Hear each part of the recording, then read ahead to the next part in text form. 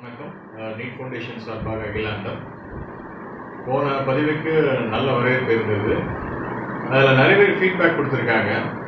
அதில் முக்கியமான ஃபீட்பேக் என்னென்னா இந்த நாலேஜ் கேதரிங் அது எப்படி பண்ணணும்? இந்த நாலேஜ் கேதரிங்னால என்ன பெனிஃபிட் இவ்வளோ வாஸ்ட் நாலேஜ் நீங்கள் வச்சுருக்கீங்க அப்படின்னாங்க. அப்படியெல்லாம் ஒன்றும் இல்லை. கட்டுறது கைமண் அளவு கல்லாத உலாவது முதல்ல நீங்கள் நாலேஜ் கேதரிங்கிறது ஒரு பெரிய கலை. இட்ஸ் அன் ஆர்ட் எப்படி management is an art science is an ஆர்ட்னு சொல்கிறாங்களோ அதே மாதிரி நாலேஜ் கேதரிங்கிறது ஒரு art it is a continuous process and it is a never ending process இது வந்து இதுக்கு முடிவே கிடையாது. நீங்கள் வாட்டுக்கு கலெக்ட் பண்ணிகிட்டே இருக்கலாம் இன்ஃபர்மேஷன்ஸ் கலெக்ட் பண்ணிகிட்டே இருக்கலாம். நான் என்னுடைய அனுபவத்தை இந்த பதிவில் உங்களோட பகிர்ந்து கொள்ள நான் ஆசைப்படுகிறேன். Uh, டுவெல்த் ஸ்டாண்டர்ட் முடிச்சு uh, காலேஜுக்கு போகிற அந்த ஃபர்ஸ்ட் இயர் பீரியடில் நான் வந்து இந்த புக்ஸ் ரீடிங் பேப்பர் ரீடிங்லாம் படிப்படியாக வந்தது. அதுக்கு முன்னாடி கிராமத்தில் என்னுடைய தாத்தா வந்து ஹிந்து பேப்பரை ரொம்ப uh, இதாக படிப்பாங்க. அதுக்குன்னே டைம் ஒதுக்கி படிப்பாங்க. அது ஒரு மனசில் ரொம்ப பதிஞ்சு ரொம்ப பதிஞ்சிருந்துச்சு மேலே ஒரு பழமொழி சொல்லுவாங்க நீ வீட்டில் பேப்பர் எடுத்து படிச்சுட்டு இருந்தேன்னா உன் பையன் வந்து அதே மாதிரி வருவான். அல்லது உன் பிள்ளைகள் அந்த மாதிரி வரும் அப்படின்னு சொல்லுவாங்க. சமீபத்தில் கூட நீங்க ஒரு வீடியோ பார்த்துருப்பீங்க. ஒரு அம்மா வந்து மொபைல வச்சுட்டே தன்னுடைய குழந்தைய கூட்டிட்டு போவா. எங்க போனாலும் அந்த மொபைலை பார்த்துட்டே போவா. அவங்க அம்மா வந்து பெட்ல வந்து தண்ணிக்கு சாக கிடக்கும் போது தண்ணி கேட்கும் போது தண்ணி கொடுக்காம அந்த மொபைலை நோக்கிட்டு இருக்கும்போது அந்த அம்மா இறந்து போயிடுறாங்க. அதே நிலைமை இந்த அம்மாவுக்கும் வரும். இந்த வீடியோ ரொம்ப பாப்புலரா எல்லா வாட்ஸ்அப் இதுலயும் எல்லா இதுலயும் பரவலா வந்துருந்துச்சு. ஸோ அதனால இப்போ man reads a book the children will read a book அப்படின்னு பழமொழி சொல்லுவாங்க. அதே மாதிரி இன்னைக்கு அமெரிக்கா இருக்கிற சிலிகான் வேலியில லைப்ரரியில போய் படிக்கிறவங்க தான் ஜாஸ்தி. லைப்ரரியில போய் படிக்கிறவங்க தான் ஜாஸ்தி இந்த காலகட்டத்தில். எங்களுடைய காலகட்டத்தில் அப்போ வந்து இது கால்குலேட்டரே ஒரு பெரிய விஷயம். நெட்டு கிடையாது கம்ப்யூட்டர் கிடையாது லேப்டாப் கிடையாது ஒன்றும் கிடையாது. அந்த நேரத்தில் இந்த நாலேஜ் கேதரிங் ஸ்டார்ட் ஆச்சு. எப்படி ஸ்டார்ட் ஆச்சுன்னா மதுரையில் வந்து மதுரையில் இல்லை தமிழ்நாட்டிலே வந்து ஒரே ஒரு தேட்டர் வித்தியாசமான தேட்டர் அந்த தேட்டர் பேர் வந்து ரீகல் டாக்கிஸ் அதுல என்ன விசேஷம்னா மார்னிங் வந்து அது லைப்ரரி இந்த லைப்ரரி பேர் வந்து விக்டோரியா எட்வர்ட் லைப்ரரி ஆஃப்டர்நூன் அது தியேட்டர் ஸோ அந்த விக்டோரியா எட்வர்ட் லைப்ரரி வந்து மார்னிங் வந்து அழகாக uh, அந்த அந்த காலத்துல பிரிட்டிஷ் பில்டிங் அது. ரொம்ப புக்ஸ் இதெல்லாம் இருக்கும். ஃபார்ச்சுனேட்டாக என்னுடைய uh, தந்தையார் அவர்கள் ஒரு பெரிய பல்கலைக்கழகத்தில் பேராசிரியர் ஒரு பல்கலைக்கழகத்துடைய அன்அப்போஸ்ட் செனட் மெம்பரா இருந்து ஒரு பிசி செலெக்ஷன் பேனல்ல இருந்தாங்க. அதனால அந்த Victoria Edward hall library ticket use பண்ணி நான் அந்த லைப்ரரிக்கு போவேன். அந்த லைப்ரரியில் புக் எடுக்க முடியாது. ஒன்லி கார்டு வச்சிருக்கவங்க தான் எடுக்கணும். பட் பீங் சன் அந்த கார்டை வச்சு நான் அந்த பேப்பர் புஸ்தகங்கள்லாம் நிறைய படிக்க ஆரம்பிச்சேன்.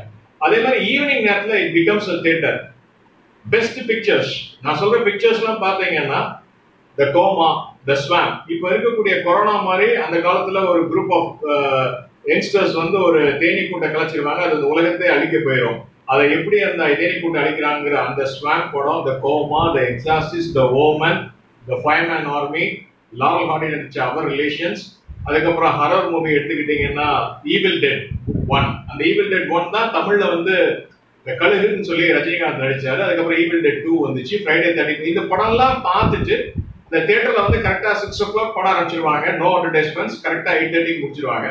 இந்த பார்த்துட்டு வெளியில வரும்போது டவுன் ஹால் ரோடு அந்த ரோட்ல கார்னர்ல ஒரு சின்ன கடை வந்து அதுல எல்லா விதமான மேகசின்ஸ் இருக்கும். Business India business today business world இப்படி உள்ள அந்த புத்தகத்தை தான் வாங்கி நான் படிச்சுட்டே இருப்பேன்.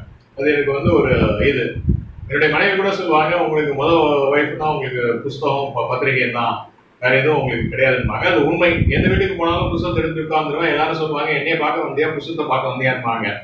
ஸோ அந்த மாதிரி படிச்சுட்டே இருக்கும்போது I was applying for so many job முதல்ல எனக்கு ஒரு பெரிய கம்பெனியில் லாய்ட்ஸ் கம்பெனியில் வேலை கிடைச்சிச்சு. அதுக்கப்புறம் அதை ரிசைன் பண்ணிட்டு இன்னொரு ஒரு கம்பெனியில் ஜாயின் பண்ணும்போது நான் கலெக்ஷன் பண்ண இன்ஃபர்மேஷன் வந்து எனக்கு ரொம்ப யூஸ்ஃபுல்லாக இருந்துச்சு. ஸோ எனக்கு வந்து அப்போ ரெண்டு கம்பெனில இருந்து இன்டர்வியூ வந்துச்சு. ரெண்டு கம்பெனிலையும் செலக்ட் ஆனேன். ஒன்று வந்து ஜாஃப்ரி மேனஸ் நீங்க அந்த காலத்துல டாக்டர்ஸ் பேஸ்ட் ரொம்ப ஃபேமஸான பேஸ்ட் ஃபோர் ஹேண்ட்ஸ் பேஸ்ட்டும் அதுக்கப்புறம் லேடிஸ் யூஸ் பண்ணக்கூடிய ஆனி ஃப்ரெஞ்ச் க்ரீமும் ரொம்ப பாப்புலர் அந்த கம்பெனியில் கிடைச்சிச்சு. பட் அதை நான் ஜாயின் பண்ணல. எனக்கு பிரிட்டானியால இருந்து இன்டர்வியூ வந்துச்சு.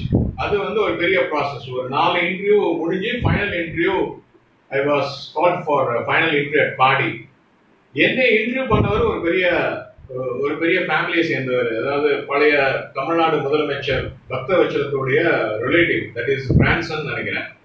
மிஸ்டர் மோகன் அழகப்பன். அவர் வந்து ரெண்டு கேள்வி கேட்டார். ஒன்று வந்து என்னுடைய தாடி வச்சிருக்கேன் அதை எடுக்க கன்வின்ஸ் பண்ணு being sales person I said sir தாடி எடுத்தா உங்களுக்கு நல்லா இருக்காது அப்படின்னு அவர் சிரிச்சிட்டார். செகண்ட் கேள்வி வந்து what you know about Britannia அப்படின்னு கேட்டார். உடனே நான் பிரிட்டானியோடைய ஸ்டோரியை சொன்னேன் ஸ்டோரியை சொல்லிட்டு இப்போ என்ன நிலைமையில இருக்கு அப்படின்னு அவர் அந்த இன்டர்வியூ ப்ராசஸ்ல கேட்கும்போது sir this was happen in nineteen eighty six eighty seven sir இப்போ பிரிட்டானியா கம்பெனியை ஹோல்டு பண்ணியிருக்குது Nabisco that is national biscuit company இன்னைக்கு அமெரிக்காவில் உள்ள எல்லாத்துக்கும் அல்லது இங்கேருந்து அமெரிக்கா போனவங்க எல்லாத்துக்கும் நபிஸ்கோ தெரியும். நபிஸ்கோடைய ஃபுல் அப்ரிவேஷன் வந்து நேஷனல் பிஸ்கட் கம்பெனி அந்த நேஷனல் பிஸ்கட் கம்பெனியை ஹோல்டு பண்ணியிருக்குது ஆர்ஜிஆர் ரெனால்ஸ் சிகரெட் ஆர்ஜேஆர் ரெனால்ஸ்ங்கிற பெரிய சிகரெட் கம்பெனி அந்த சிகரெட் வந்து டன்ஹில் அல் மால்ப்ரோ அப்படின்னு சொல்லுவாங்க. ரெண்டு ஃபேமஸ் பிராண்ட் டூ பிராண்ட் அந்த ஆர்ஜேஆர் ரெனால்ஸ் ஹோல்டிங் கம்பெனி தான் பென்சன் அண்ட் ஹெஞ்சஸ் உங்க எல்லாத்துக்கும் தெரியும் கிரிக்கெட் தெரியாதவங்களே இருக்காது. இந்த நைன்டீன் எயிட்டி ஃபைவ்ல பென்சன் அண்ட் ஹெஞ்சஸ் நடத்தின அந்த கப் அந்த வேர்ல்டு கப்பை வந்து நம்ம இந்தியா வந்து ஜெயிச்சு வாங்கிச்சு. அதுல ஃபர்ஸ்ட் ஆடி கார் கொடுத்தாங்க. அந்த ஆடி காரை வந்து ரவி சாஸ்திரி ரவுண்ட் அடிச்சுட்டு வருவாரு. சுனில் கவாஸ்கர் எல்லாம் அந்த பெனட் மேலே ஏறி பார்த்து காருடைய பெனட் மேலே ஏறி உட்காந்து வருவாங்க. இதெல்லாம் நீங்கள் பார்த்துருப்பீங்க.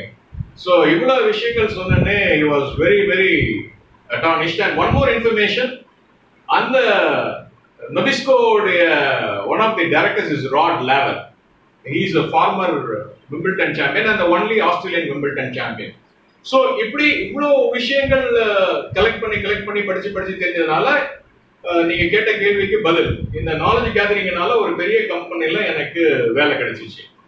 அதுக்கப்புறம் நான் கம்பெனி விட்டு வெளியில வந்தேன் இன்னைய வரைக்கும் அதோடைய இன்ஃபர்மேஷன் என்ன இன்னைக்கு பிரிட்டானியா யார் ஹோல்டு பண்ணியிருக்காங்கன்னா நல்சி பாடியா அதாவது பாம்பே டைங்களுடைய சேர்மன் அந்த நல்சி பாடியா யாருன்னு எடுத்துக்கிட்டீங்கன்னா பாகிஸ்தானுடைய ஃபவுண்டர் முகமது அலி ஜின்னாவுடைய டாட்டருடைய சன் தான் நல்சி பாடியா ஜின்னாவுடைய ஃப்ரெண்டு தான் நல்சிவாடுடைய அம்மாவை கல்யாணம் பண்ணிக்கிட்டாங்க. அதாவது ஜின்னாவுடைய மகளை கல்யாணம் பண்ணிக்கிட்டாங்க. இந்தியால ரெண்டே பேர்த்துக்கு தான் இம்பார்ட்டன்ஸ் கொடுத்தாங்க. ஒன்று வந்து நல் நல்சிவாடியா ஃபேமிலி பிரசிடென்ட் முஷ்ரப் இருக்கும்போது இம்பார்ட்டன்ஸ் கொடுத்தாங்க. அதுக்கு முன்னாடி உலகத்திலே ஒரே ஒரு இந்தியருக்கு தான் பாகிஸ்தான் மரியாதை கொடுத்து அவார்டு கொடுத்துருக்காங்க. இன்சாக்கி பாகிஸ்தான்ங்கிற award that is Bharat Ratna. எப்படி இந்தியாவில் பாரத ரத்னா இருக்கோ அதே மாதிரி அந்த இன்சாக்கி அவார்டு வந்து பழைய பிரைம் மினிஸ்டர் முராஜ் தேசாய் அவர்களுக்கு கொடுத்துருக்காங்க. முராஜ் தேசாய் பத்தி வரும்பொழுது அதனுடைய சுவாரஸ்யமான கதையை நான் உங்களுக்கு சொல்றேன். அப்பளிக்கப்பட்ட ஒரு தன்னலமற்ற உயர்ந்த மனிதன் அவருக்கு தான் அந்த இன்சாக்கி பரிசு கொடுத்தாங்க.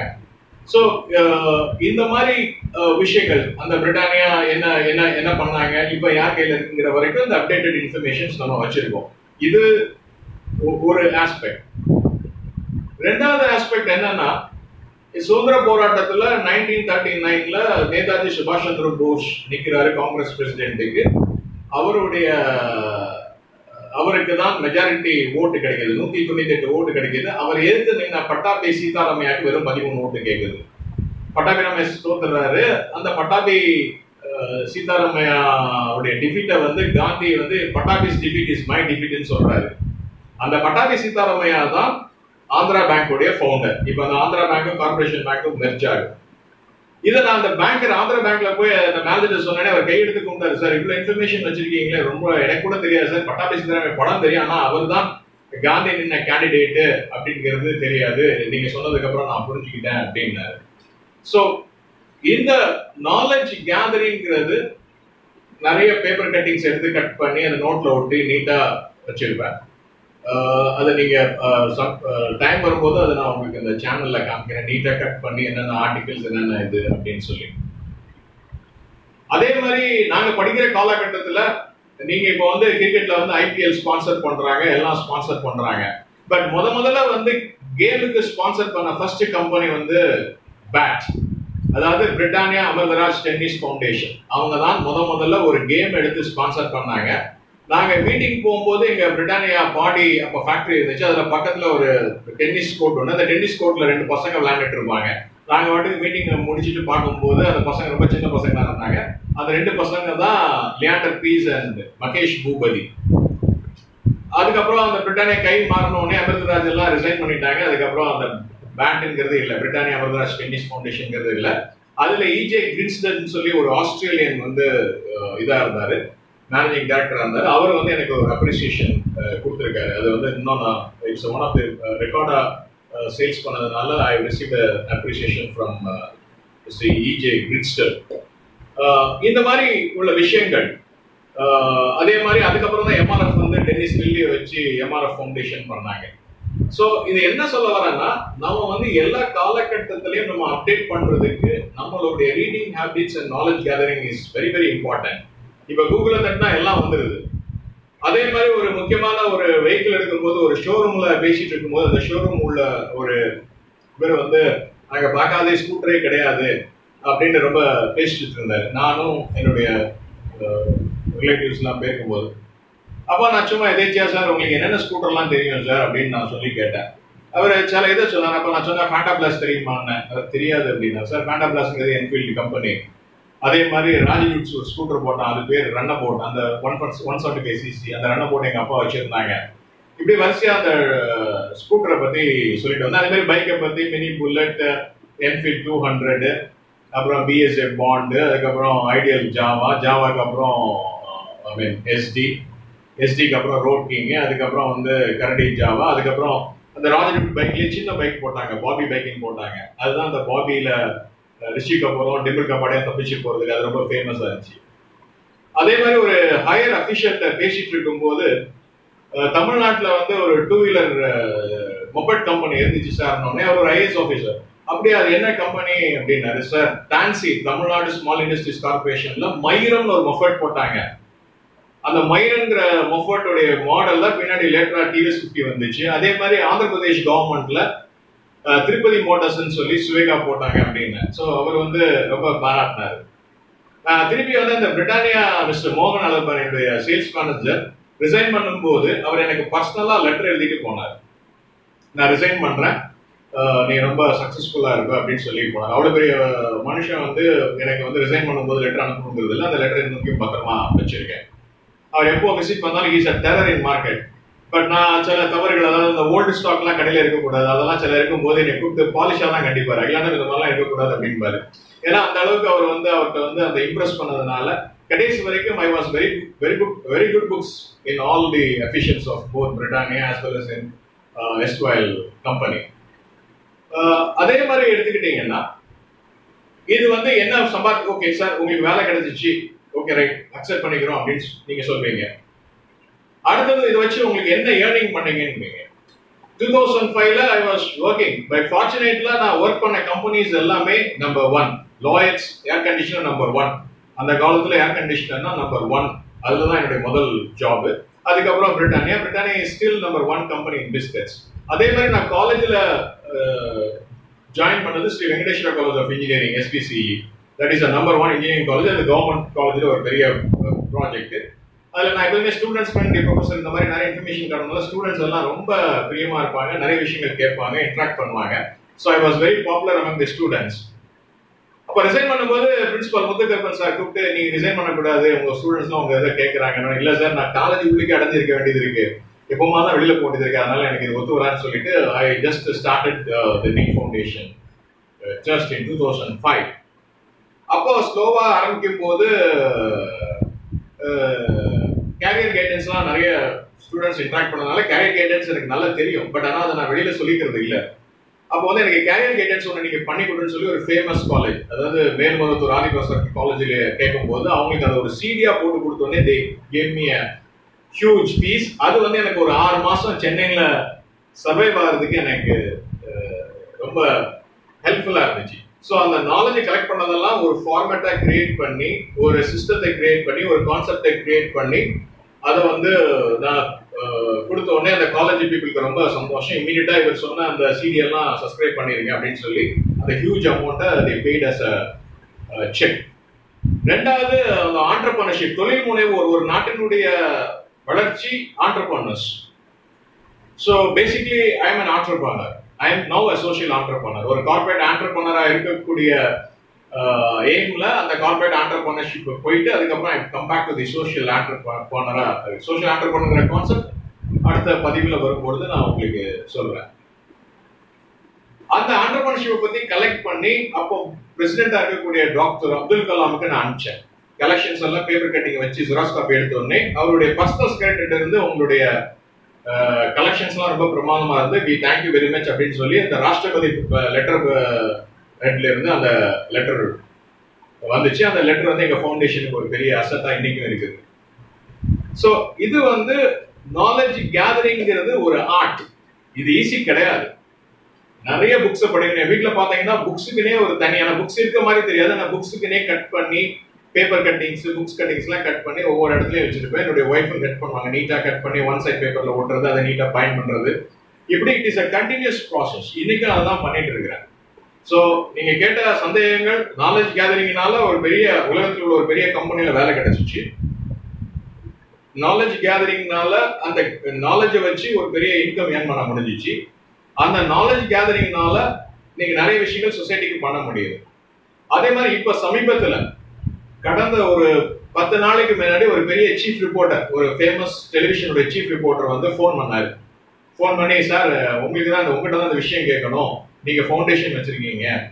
Thirty five thirty five one and டூனா என்ன சார் அது இருந்து அந்த ட்ரஸ்ட்டுக்கு இருந்தால் என்ன விஷயம் அப்படின்னு கேட்டார். அப்போ நான் சொன்னேன் எனக்கு தெரிஞ்சு இந்தியாவில் தேர்ட்டி ஃபைவ் ஒன் வச்சிருக்கக்கூடிய வந்து ஒன்று டாடா ட்ரஸ்ட் இன்னொன்று வந்து கோவல் ட்ரஸ்ட் டாடா ட்ரஸ்ட் தான் இன்னைக்கு ஆயிரத்தி ஐநூறு கோடி ரூபா கொடுத்துருக்காங்க. அந்த தேர்ட்டி ஃபைவ் ஒன்னுங்கிறது நீங்கள் நிறைய ப்ராஜெக்ட்ஸை காமிச்சு நிறைய ஹாஸ்பிட்டல் பேஷண்ட்டுக்கெல்லாம் சர்வீஸ் பண்ணீங்கன்னா அதுக்குள்ள அந்த கலெக்டர் அந்த கமிஷனர்லாம் இன்ஸ்பெக்ட் பண்ணி சர்டிஃபிகேட் கொடுப்பாங்க.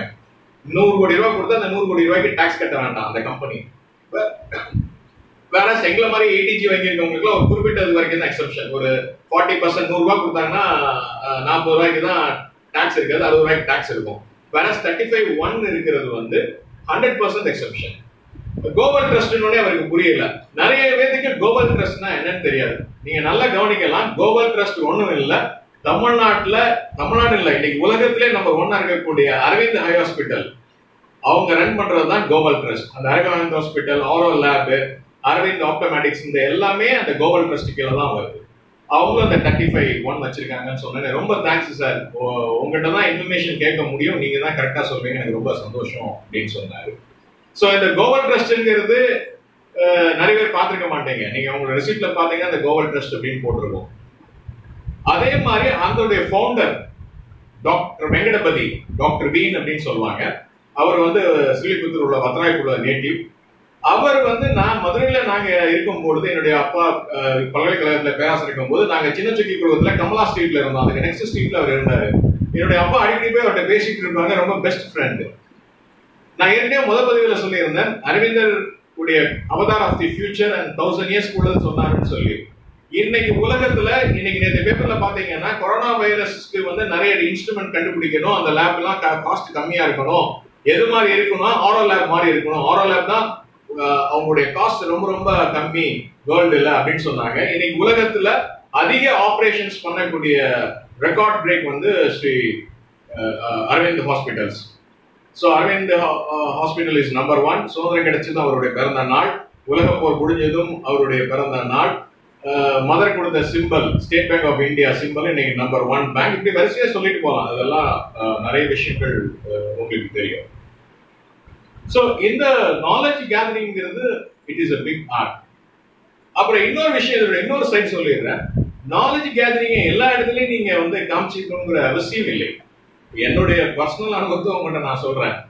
என்னன்னா இப்ப நீங்க யூடியூப் சேனல் பாக்குறீங்க சிலவங்களுக்கு இது பிடிச்சிருந்தா பாப்பீங்க பிடிக்கல பிடிக்கலன்னா சரி ஏதோ ஒன்று சொல்றாருன்னு சொல்லிட்டு ஆஃப் பண்ணிட்டு போயிருவீங்க. அந்த காலத்துல நம்மளுக்கு இந்த விஷயம் தெரியும். யாராவது ஒருத்த ஒருத்தங்க என்னுடைய க்ளோஸ் ரிலேட்டிவே ஜெனரல் நாலேஜ் படிக்க சொல்லு அப்படின்னு சொல்லும் போது உங்களை மாதிரி பைத்தியக்காரன் உண்டா? சப்ஜெக்ட் தான் முக்கியம். சப்ஜெக்ட் மார்க் தான் ரொம்ப முக்கியம். ஜென்ரல் நாலேஜ் ஒரு வேலைக்கு ஆகாது அப்படின்னு சொன்னாங்க. இப்ப அதே அவங்களுடைய அவங்களுடைய அந்த பையனுடைய சுச்சுவேஷன் என்னன்னா வெளிநாட்டுல போய் அந்த ஜெனரல் நாலேஜை கேதர் பண்றதுக்கு he has to read lot of books இங்க இந்தியாவில் உள்ள புக்கிங்ஸ் நாலேஜ் எல்லாம் ஒண்ணுமே இல்ல. We have to do a lot of research we have to get lot of information அப்படின்னு சொல்றான். ஸோ அன்னையில இருந்து நான் முடிவு பண்ணிட்டேன். நம்ம நாலேஜ் அதாவது எப்பொருள் எப்பொருள் வாய் யார் யார் கேட்பீங்கன்னா அப்பொருள் மெய்ப்பொருள் காண்பது அறிவு அப்படின்னு வள்ளுவர் சொல்லியிருக்காரு. அதே மாதிரி நம்மளுக்கு நாலேஜ் நாலேஜ் ஷேரிங் பீப்புளோடய இருக்கும்போது ஷேர் பண்ணிக்கிட்டா நல்லது. இல்லைன்னா அப்படியே சைலண்டாக நம்ம இருந்துக்கலாம்.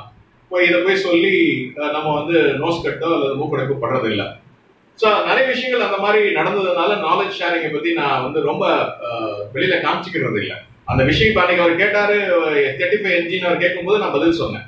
அந்த பேங்கருக்கு வந்து ஆந்திரா பேங்க் யாரு ஆந்திரா பேங்கோடைய ஃபவுண்டர் தான் நேதாஜி சுபாஷ் சந்திர போஸ் எடுத்து நின்னாருங்கிறது அவருக்கு தெரியல. இந்த மாதிரி ஷேர் பண்ணிக்கிட்டோம்.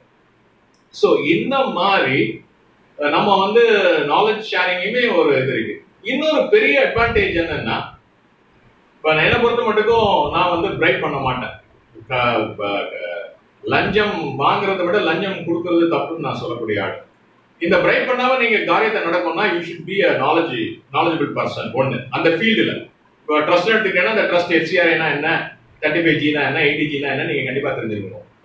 இதுல முக்கியமான விஷயம் என்னன்னா ஒண்ணு நீங்க வந்து ஒரு பெரிய பணக்காரனா இருக்கணும் உலக பண பெரிய பணக்காரனா இருக்கணும் இல்ல ஒரு பெரிய போஸ்ட் இருக்கணும் இல்ல அரசியல்வாதியா இருக்கணும் இல்ல வக்கீலா இருக்கணும் இப்படி இருந்தா எல்லாரும் பயப்படுவாங்கிறது சொசைட்டியில் இன்னொரு விஷயம் என்னுடைய கிராண்ட் ஃபாதர் எனக்கு சொல்லி கொடுத்தது என்னன்னா நீ ஹைலி நாலேஜபிளா இருந்தீங்கன்னா அவன் பக்கத்துல வர்றதுக்கு பயப்படுவான். சரி இவருக்கு விஷயம் தெரியுது நம்ம கொஞ்சம் ஜாக்கிரதையா இருக்கணும்னு நினைப்பான். சோ இந்த நாலேஜபிளா இருக்கிறதுனால நிறைய இடத்துல நான் வந்து என்னுடைய காரியத்தை வந்து நான் வந்து almost ninety nine point nine percent நான் லஞ்சம் கொடுக்காம தான் என்னுடைய காரியத்தை சாதிச்சிருக்கிறேன். இது வந்து மோட்டர் வெஹிக்கிள்ஸ் ஆக்டா இருக்கட்டும் அல்லது ஒரு ட்ரஸ்ட் ஆக்டா இருக்கட்டும் அல்லது எதா இருந்தாலுமே வந்து இது. எங்களுக்கு எயிட்டிஜி கிடைச்சதே வந்து இந்த நாலேஜ் பேஸ் பண்ணி தான் கிடைச்சிச்சு December December six was the December sixth was the interview that time the former chief minister of Tamil Nadu expired so ஒன்றுமே ஓடலை பஸ் ஓடலை. இருந்தாலும் நான் எட்டாம் தேதி ஓடனோடனே எட்டாம் தேதி போய் அட்டன் பண்ணி இந்த இன்ஃபர்மேஷன்ஸ் அவ்வளோ இன்ட்ரெஸ்ட் நடத்தின விஷயத்துல எல்லாத்தையுமே ரொம்ப பர்ஃபெக்டா ரெக்கார்ட்ஸ்ல இருந்து வவுச்சர்ஸ்ல இருந்து பயன் பண்ணி காமிச்சேன்னே நீங்க போங்க உங்களுக்கு ஆட்டோமேட்டிக்கா வரும் அப்படின்னு சொல்லி அந்த கமிஷனர் சொன்னார். அது மட்டும் இல்ல எனக்கு அந்த ஏடிஜி சர்டிபிகேட் வந்து ஜூலை மந்த்ல இருந்து உங்களுக்கு டாக்ஸ் ஆப்ஷன் சொல்லி கொடுத்தாங்க. நான் இன்டர்வியூ அட்டன் பண்ணது December two thousand sixteen but எனக்கு கிடைச்சது வந்து ஜூலை மந்த்ல இருந்து நீங்க உங்களுடைய டொனேஷன்ஸ் எல்லாம் டாக்ஸ் எக்ஸம்டட் சொன்னாங்க. ஸோ அதனால knowledge கேதரிங்கிறது it's not an easy but it it நீ ஒன்ஸ் பழக ஆரம்பிச்சிட்டீங்க அல்லது அதை வந்து ஃபாலோ பண்ண ஆரம்பிச்சிட்டீங்கன்னா அந்த மாதிரி ஒரு பெரிய விஷயம் கிடையாது. You will love to care more information இப்பவும் நான் வாரத்துல ரெண்டு சண்டே கண்டிப்பா லைப்ரரியில இருப்பேன். அதாவது ten to one o'clock நான் லைப்ரரியில போய் பேப்பர்லாம் படிச்சு நோட்ஸ் எல்லாம் எடுத்துட்டு வருவேன். பானைக்கோட்டை இருக்கக்கூடிய சேவியஸ் காலேஜ் இருக்கக்கூடிய லைப்ரரி அல்லது இன்னொரு லைப்ரரிக்கு போய் நான் உட்காந்து படிச்சுட்டு இருக்கிறது ஒரு வழக்கமாக இருக்கு. ஸோ அதனால நாலேஜி அதாவது நாலேஜ் கேதர் பண்ணுறதுனால நீங்கள் ஒன்றும் லூஸ் பண்ண போகிறது இல்லை ஏதாவது உங்களுக்கு சிரமம் வரப்போதா? அல்ல யாராவது ஏதாவது கேட்க போகிறாங்களா அல்ல யாராவது ஏதாவது திட்ட போகிறாங்களா in fact it is it going to give lot of good things to your life உங்களுடைய வாழ்க்கையை மேன்மைப்படுத்தக்கூடிய ஒரு நல்ல விஷயமாக இந்த நாலேஜ் கேதரிங் அண்ட் இந்த நாலேஜ் ஷேரிங் இந்த நாலேஜ் நாலேஜுடைய uh, என்ன சொல்லலாம்? அதை வந்து எப்படி இம்ப்ளிமெண்ட் பண்றது அப்படின்றது சொல்லலாம். எனக்கு ரொம்ப சந்தோஷம். இந்த கேள்வியை வந்து கேட்ட இந்த யூடியூப் சேனலை பார்த்து ரொம்ப அருமையா ஒரு சின்ன ஒரு சின்ன யங் பாய் தான் கேட்டிருந்தாரு. You got a vast knowledge how you collect it and how you what is the use அப்படின்னு கேட்டிருந்தாரு. இது என்னுடைய இது எல்லாமே என்னுடைய பர்சனல் எக்ஸ்பீரியன்ஸ் தான் உங்களை சொல்றேன். இது வந்து எல்லாமே நீங்க ஏத்துக்கணுங்கிற அவசியமும் இல்லை. But it's all fact and figures இது சம்பந்தமா மேலும் நம்ம அடுத்த யூடியூப் சேனல்ல இன்னும் கொஞ்சம் டிஸ்கஸ் பண்ணிட்டு அதுக்கப்புறம் ரெகுலரா எந்தெந்த நாள்ல என்னென்ன பேச போறோங்கிறதையும் நான் அந்த இதுல நான் உங்களுக்கு சொல்லிடுறேன். நன்றி வணக்கம்.